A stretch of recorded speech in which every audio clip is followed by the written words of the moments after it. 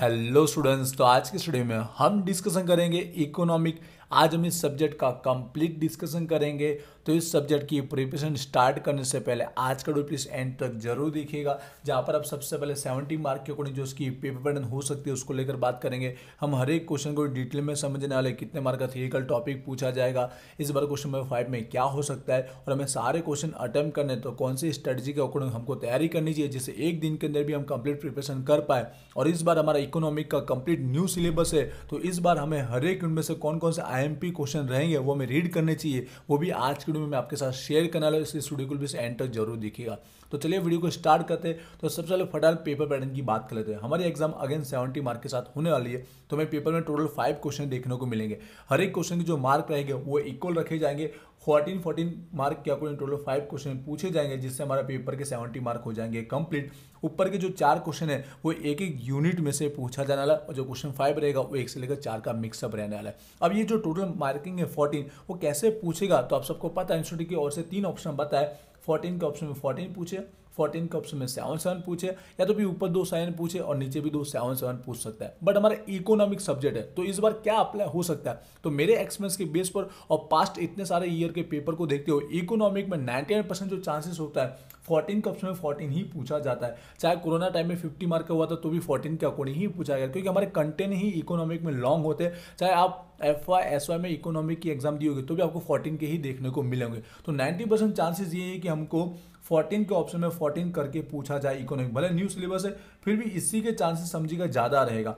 By chance ऐसा हो सकता है कि 14 के ऑप्शन में सेवन सेवन देखने को मिल सकता है। बट हम तैयारी 14 की ही करेंगे। सेवन सेवन पूछेगा तो और बेस्ट रहेगा हमारे लिए। ऑप्शन में अगर आपको आता रहेगा तो वहाँ पर आप जा पाएँगे। लेकिन इसी के अकॉर्डिंग तैयारी कीजिए तो हमको ज़्यादा तैयारी करनी पड़ सकती है क्योंकि एक मिनट में से खाली दो क्वेश्चन हमको देखने को मिल सकता है। एंटर देखिए, मैं आपको आई भी बताने वाला हूँ। ऊपर के जो चार क्वेश्चन है, वो हम बुक से समझेंगे। आई भी बताऊँगा तो पहले क्वेश्चन फाइव पहले देख लेते हैं। ये क्वेश्चन फाइव सबसे ज़्यादा ईजी रहता है और ये हमारे एग्ज़ाम में पास होने के लिए और हाइस्ट मार्क लाने के लिए भी बहुत इंपॉर्टेंट रहता है। तो इकोनॉमिक में हो क्या सकता है फोर्टीन मार्क के अंदर? तो वैसे तीन चार ऑप्शन बताए, लेकिन इकोनॉमिक सब्जेक्ट को देखते हुए नाइनटी परसेंट चांसेस कि हमको एमसीक्यू ही देखने को मिलेंगे। तो इस न्यू सिलेबस के अंदर भी हमको एमसीक्यू पूछे जाएँगे। एक बार हेडलाइन ज़रूर रीड कीजिएगा कि एक मार्क का है कि दो मार्क का दो मार्क का अगर एक एमसीक्यू पूछा जाएगा तो आपको सेवन जितने ही अटेम्प्ट करने रहेंगे। लेकिन अगर देखिए एक मार्क का पूछा तो आपको फोर्टीन अटेम्प्ट करने रहेंगे। सेवन अगर आपको अटेम्प्ट करना है दो मार्क का है तो आपको दिए गए होंगे एक्स्ट्रा कम से कम दस तो होते हैं, लेकिन बारह जितने आपको एमसीक्यू दिए गए होंगे। अब जब बारह में से सात ही लिखने हैं तो मैं जैसे हरी कुड़ी में आपको बोल रहा हूँ, नंबर आगे पीछे चलेगा स्टार्टिंग के साथ वो लिखिए जो आपको पहले आते हैं, जिससे क्या रहेगा, यहाँ पे ऊपर के सेवन में से आपको total fourteen out of fourteen मिल जाएगा। और ये फोर्टीन इंपॉर्टेंट इसलिए क्योंकि आपको पता है कि हमारे पासिंग कितने होते हैं सेवेंटी में से ट्वेंटी फाइव ही पासिंग होते हैं। ये फोर्टीन आप कवर कर लेते हो तो आप देखिए, एक दिन के अंदर, तैयारी के अंदर आप पासिंग के पास पहुँच जाते हो। और जैसे आप ऊपर के क्वेश्चन अटेंड करते हो तो पास भी हो जाते हो और अच्छे मार्क भी आते हैं। अब इसकी तैयारी समझिएगा कैसे करेंगे? तो न्यू सिलेबस है तो हमारे पास्ट ईयर के पेपर में से हम तैयारी कर नहीं पाएँगे। आप दूसरे सारे सब्जेक्ट के लिए आप रजिस्टर एप्लीकेशन डाउनलोड कीजिएगा, वहाँ पर आपको फ्री में एमसीक्यू टेस्ट देने को मिलेगी। यहाँ पर बुक से बताना चाहूँगा, गुजारेंगे बुक है, इंग्लिश टोटली समझ पाएँगे, मैं इंग्लिश में भी आपको बताने वाला हूँ। तो हर एक यूनिट के एंड में हमको एमसीक्यू यहाँ पर दिए गए ठीक है? जो हम बोलते हैं मल्टी चॉइस क्वेश्चन हमको दिए गए। तो इस बुक में जितने भी दिए वो कंप्लीट आप तैयार कर लीजिएगा। ये तैयार करने से क्या रहेगा? चार चार यूनिट के आप तैयार करोगे तो इसी में से जो भी दस या बारह दिए गए होंगे, वो इसी में से आपको मिलने जाले वाले, थोड़े एक्स्ट्रा दिए गए मुझे ऐसा लग रहा है। वैसे तो बीस पच्चीस होते हैं लेकिन हर यूनिट में थोड़े ज़्यादा दिए गए, पर तैयार कर लीजिएगा। मैक्सिमम हो सके तीन यूनिट के तो कम से कम कीजिएगा, जिससे आपको सेवन तो उसमें से मिल ही जाएगा अगर टाइम कम है तो। वीडियो दो से तीन महीने पहले आ रहा है तो चार यूनिट के कीजिएगा। लास्ट में प्रिपरेशन कर रहे हो तो भी तैयार कीजिएगा चार चार यूनिट के। आई होप ये आपकी तैयारी आप इसको समझ पाए होंगे। तो अब हम ऊपर के चारों यूनिट को बुक के थ्रू समझेंगे, जहाँ पर मैं हर एक यूनिट के आईएमपी क्वेश्चन भी बताते जाऊँगा, साथ साथ में स्ट्रेटजी भी समझाते हो जाऊँगा। ये न्यू बुक है न्यू सिलेबस के साथ हमारी एग्ज़ाम हो रही है तो एक्स्ट्रा प्रिपरेशन ज़रूर कीजिएगा। सबसे पहले तो जो हमारे लास्ट अगर प्रिपरेशन कर रहे कल ही एग्ज़ाम है और आज ही वीडियो देख रहे हो तो सबसे पहले कौन से क्वेश्चन हमको पढ़ने चाहिए, जिससे क्या रहेगी फोर्टीन और फोर्टीन पूछे तो उसमें से एक क्वेश्चन वो निकल के आए। तो पहले उतने कम से कम मैं आईएमपी दूँगा, बाकी आप रेगुलर स्टूडेंट्स हो तो एक्स्ट्रा दो तीन में भी बताने वाला हूँ, उनको वो एक्स्ट्रा वाले भी ज़रूर पढ़ने रहेंगे। तो स्टार्ट करते हैं इंग्लिश में भी टोटल में समझाने वाला हूँ। तो फ़र्स्ट जो हमारा यूनिट है, उसमें से सबसे पहले मुझे जो लगता है, वो टॉपिक पहले आपको कौन सा पढ़ने चाहिए? तो हमारे जो आर्थिक आयोजन की जो सिद्धियों और मर्यादा जो लिखा गया है इंग्लिश में लिखा होगा अचीवमेंट और लिमिटेशन इन दोनों को एक ही समझेगा। दोनों में से कोई एक टॉपिक आ सकता है या फिर दोनों को साथ में पूछा जा सकता है। पॉइंट नंबर फोर और फाइव ये एक टॉपिक हुआ। दूसरा जो हमारा टॉपिक है, निर्देशों को लिखा गया। एक आर्थिक वृद्धि का भी और आर्थिक विकास का भी। ये दोनों के निर्देशन में से कोई एक पूछने के चांसेस मुझे ज़्यादा लगते हैं, जिसको हम इंग्लिश में बोलते हैं इंडिकेटर तो आप समझिएगा ये सेवन और नाइन और फोर और फाइव ये पहले टॉपिक कवर कीजिए। जो चार क्वेश्चन उनको दो ही समझिएगा। ये हमारा फ़र्स्ट एक और यह निर्देशक इंडिकेटर वो सेकंड इन दो में से मुझे लगता है एक टॉपिक ज़्यादा पूछने के चांसेस ये लास्ट दिन वालों के लिए पहले, ये रेगुलर वालों को भी अच्छे से पढ़ना है। अगर आपको एक्स्ट्रा क्वेश्चन पढ़ने कौन से चाहिए तो उसके अलावा आप लक्षण जो दिख रहे कैरेक्टरिस्टिक जहाँ पे तीन टॉपिक है, इन तीनों के लक्षण हल्के हल्के पॉइंट वाइज देख के चले जाएँगे तो आप सिक्योर हो जाएगी फोर्टीन आउट ऑफ़ फोर्टीन पूछेगा तो भी। आई आपको क्लियर होगा। सबसे पहले चार क्वेश्चन पढ़ने की मैंने आपको सजेशन दी है। उसके अलावा एक्स्ट्रा ज़रूर पढ़ना रेगुलर वालों के लिए बात कर रहा हूँ। उसके बाद यूनिट नंबर टू के अंदर तो यहाँ पे सबसे पहले स्टार्ट क्या कर सकते हो आप? तो स्टार्टिंग के जो तीन टॉपिक दिए, ये सबसे पहले ना पढ़ लेना है, क्योंकि इसमें से एक निकलने के चांसेस नाइनटी परसेंट है, जिसको इंग्लिश में आप समझ रहे होंगे। लिबरलाइजेशन बोलते हैं प्राइवेटाइजेशन बोलते हैं ग्लोबलाइजेशन बोलते हैं। जो भी टॉपिक दिया हल्का हल्का पढ़ ले लीजिए, जिससे इस में पूछे तो फोर्टीन में से आप लिख पाए अच्छे से, ठीक है?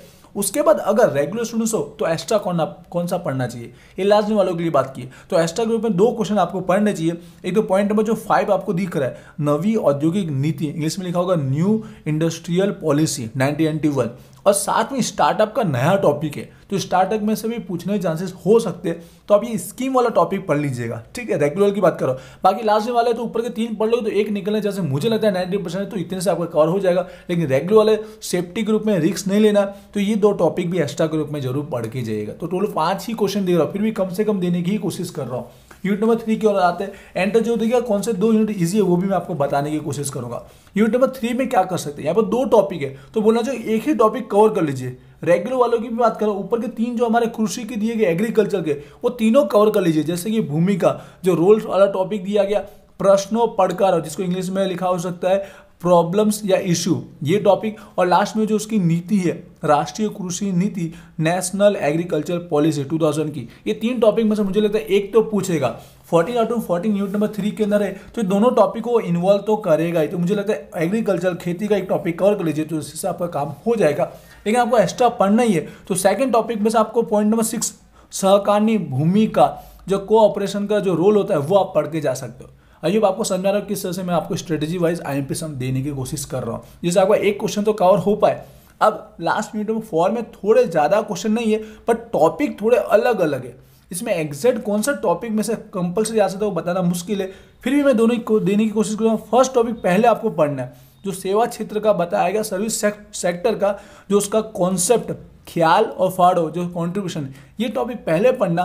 उसका ये सारी नीतियाँ बताएगी अलग अलग जो पॉलिसी होती है वो बताएगा। इसमें से कोई भी एक पॉलिसी आ सकती है, फिर भी मैं पहले बोल रहा हूँ, आप पॉइंट नंबर सिक्स और सेवन कम से कम ये तो पढ़िएगा, जो पर्यावरण का रिलेटेड दिया गया है एनवायरमेंट इन तीन टॉपिक में से एक निकलने के चांसेस मुझे ज़्यादा लगता है। ये लास्ट दिन वालों के लिए बात कर रहा है, लेकिन रेगुलर है तो ऊपर के जो चार क्वेश्चन उसमें से एक दो नीति ज़रूर पढ़ लीजिए अगर पढ़ना फिर भी मैं बताऊँ तो जो साइंस एंड टेक्नोलॉजी वाला ये टॉपिक पढ़ लीजिएगा। तो इसके थ्रू मुझे लगता है आप सेफ़ हो जाओगे।